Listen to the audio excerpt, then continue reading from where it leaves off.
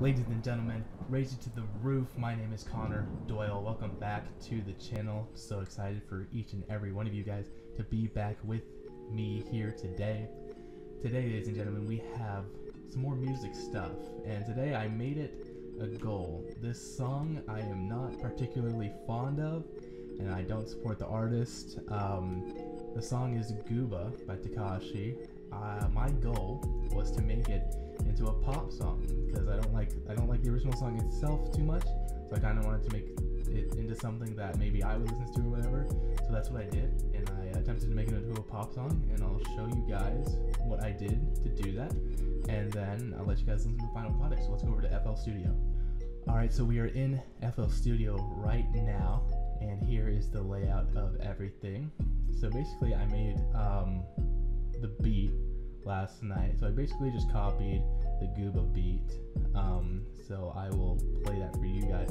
Obviously, it's not going to be exactly the same because I had to make it, and I used like all stock plugins, and so nothing's going to sound the like exactly like it is uh, in the actual song. But I'll play the beat for you guys just so you can get an idea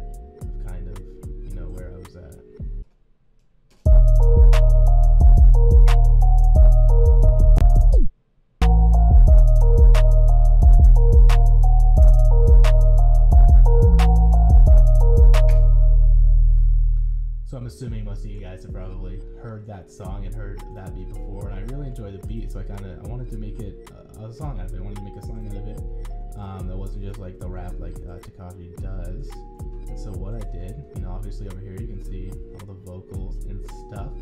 So at the beginning, I kind of put like a sing-songy pop ballad, and I had some um, had some chords right here that I can play for you guys at the beginning.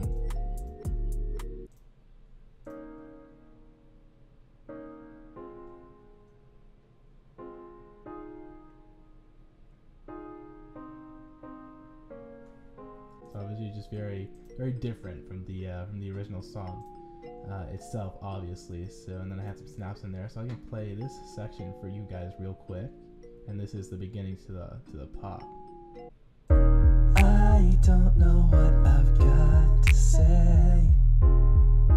To So obviously that's a little bit of obviously there's some effects on the vocals and stuff. I have an octave split on that. So that was kind of my introduction piece, and I kind of did that on purpose because I wanted uh, to like switch it.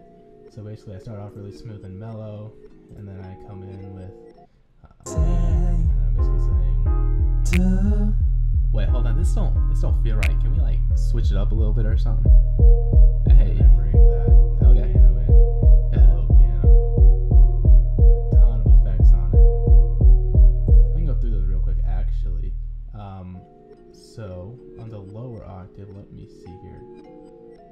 Octave is in mixer track 16, so you got reverb on it, a lot of wet, a compressor basically. So because what I had to do in the piano roll, um, you can see here.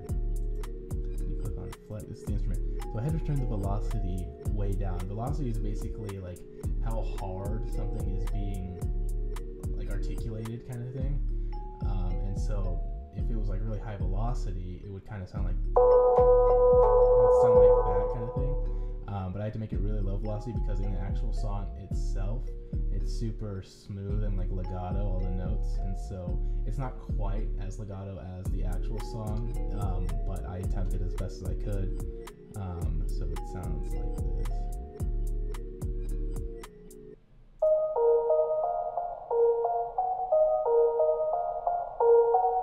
Obviously a little bit of a little bit of feedback coming off off that.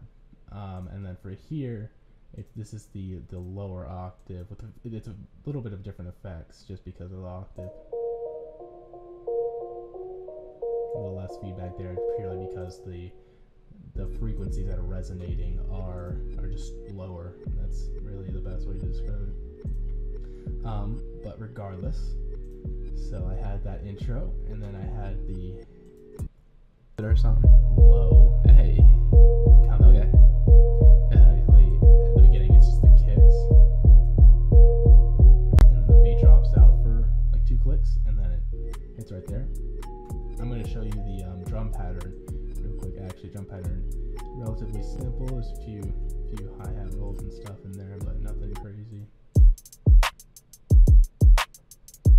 Pretty simple modern day rap kind of stuff.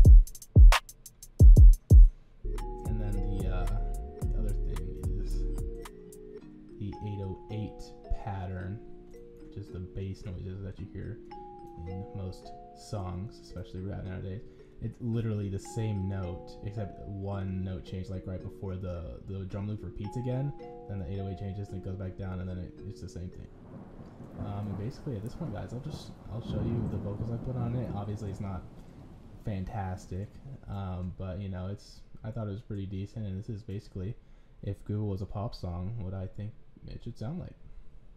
So I can play it from the beginning, so you guys can hear. I don't know what I've got to say. To Wait, hold on. This don't this don't feel right. Can we like switch it up a little bit or something?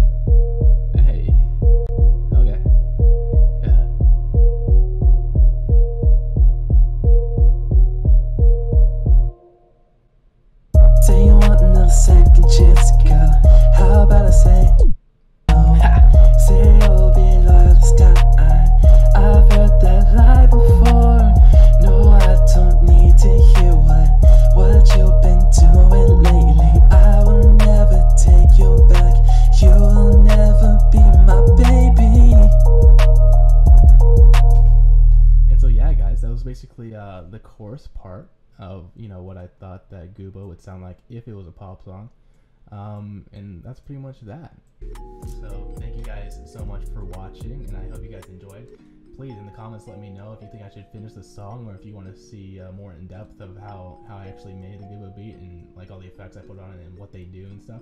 I'd definitely be glad to do that because everything I use, uh, stock plugins in FL Studio, it's pretty pretty uh, easy. So I can show you guys how to do that. But please uh, like, share, subscribe, and I'll see you guys next time.